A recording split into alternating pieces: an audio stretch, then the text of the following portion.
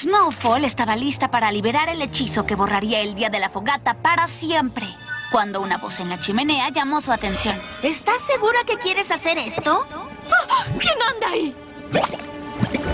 El espíritu de las fogatas pasadas, esa soy. Y tú y yo debemos tener una pequeña charla. ¿Un espíritu?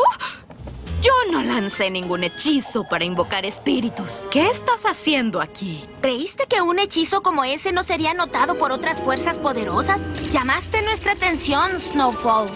Y tenemos algunas opiniones encontradas sobre tu hechizo. ¿Tenemos? Los demás llegarán después. Por ahora solo somos tú y yo. Continuemos. Hay mucho que ver y poco tiempo para hacerlo.